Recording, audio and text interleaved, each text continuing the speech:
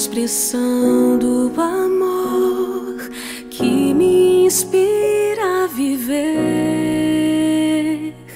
Sempre me amou, me educou. Sempre